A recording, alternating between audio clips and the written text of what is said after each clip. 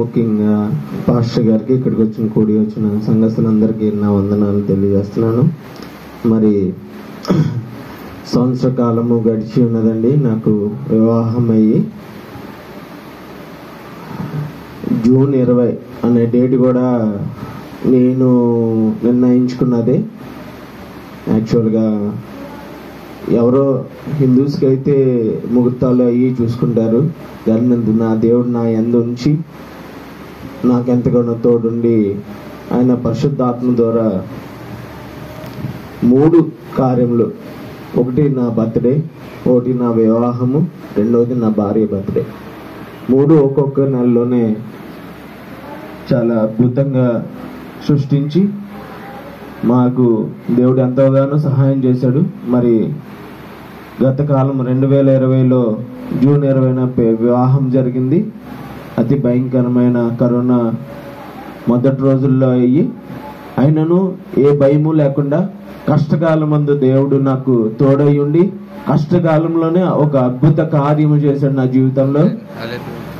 మరి ఎంతమందికి జరిగిందో నాకైతే తెలియదు కానీ నాకు మాత్రం కష్టకాలంలో అద్భుతంగా ఎంతో మంది చేత ఆశీర్వదించబడి నేను ఒక సంవత్సరం కంప్లీట్ చేసుకున్నాను. మరి సంవత్సరంలో నేను బయటన మీ సేవ నడుపుతూ ఉన్నాను. ఎంతో మంది నా దగ్గరకు వస్తారు. అయినను ఎటువంటి వైరస్ నా కుటుంబానికి కానీ నాకు కానీ రాకుండా దేవుడు ఎంతగానో ఆశీర్వదించి స్వస్థపరిచాడు. దేవుడు ముందే చెప్పి ఉన్నాడు ఏ తెగులును నీ కుటుంబానికి సమీపించదని. దేవుడికి ఎంతో వందనాలు. ఈ సంవత్సరం గడిచిందంటే నాకు ఇంకా ఆశ్చర్యం వేస్తుంది.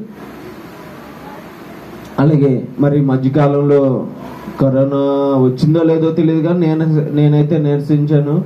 కొంచెం నాలుక టేస్ట్ అవన్నీ తెలియకుండా అయినా దేవుడు ఎంత భయభక్తులు కలిగి నేను ఎటువంటి టాబ్లెట్లు వేసుకుండా ఆయన నామంలోనే నేను స్మరించుకుంటూ ఉన్నాను. మరి ఆయన స్వస్థపరిచి ఎంతగానో ఆస్వాదించి మా ఇద్దరిని సజీవు లెక్కలో ఉంచారు దేవుడు. ఎంతగానో వందనాలు.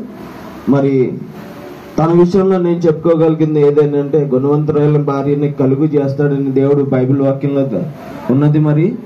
ఎంతగానో నేను అర్హుడు కాదు కానీ దేవుడు నాకు చిన్నప్పటి నుంచి ఏది కావాలో ఏది ఇష్టమో అది నాకు దయచేస్తున్నాడు. అందుబాటు దేవుడికి ఎంతో మొదట నా తల్లిదండ్రులు ప్రార్థన ఇంతవరకు నడిపించింది. తర్వాత భార్య నాకెంతకుండా సహాయం చేసింది. వాళ్ళ ప్రార్థన తర్వాత నా జీవితాంతం తోడుండే ఒక మంచి ప్రార్థన పనులు దేవుడు దయచేశాడు. అది నేను మరవలేను. జీవితాంతం దేవుడికి రుణపడి ఉన్నాను. ఎంతో మందికి భార్యలు ఉన్నారండి. నేను చూస్తూ ఉన్నాను లోకంలో.